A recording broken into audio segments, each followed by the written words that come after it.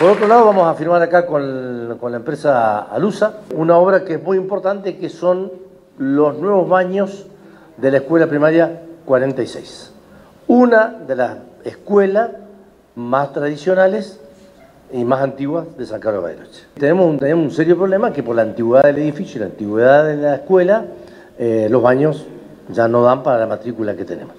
Así que el, ministro, el Ministerio de Obras Públicas ha hecho una licitación, ha hecho una, obra, eh, una obra de 600 millones de pesos, una obra grande, que se suma a las otras obras que estamos haciendo, como son las viviendas que decía recién, la obra del hospital, que ser un hospital gigante, que vamos a terminar la obra civil para fin de año, todo esto, y estamos iniciando en más o menos en dos meses, estamos reiniciando la obra de la terminal, que son las obras que tenemos en principio comprometidas este, con la provincia. Terminal por un lado y por otro lado hospital. Bueno, y finalmente eh, el acompañamiento de las instituciones a través del Ministerio de Desarrollo Humano.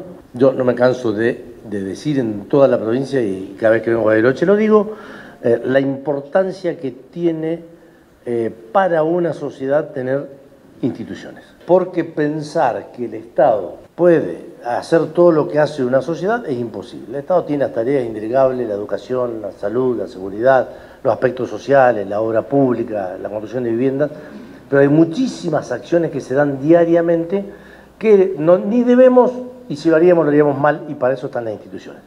Las instituciones es cercanía con la comunidad, las instituciones son formación de nuevos dirigentes y líderes, y el rol de nosotros como, como gobierno es acompañar.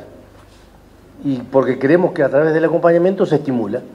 Y si, si acompañamos y estimulamos, eh, ustedes como instituciones van a estar este, mejor. Y lo único que no queremos hacer es ni darle espalda ni eh, que sientan que el gobierno de la provincia no tiene en cuenta a las instituciones de Bariloche en principio y de la provincia en general.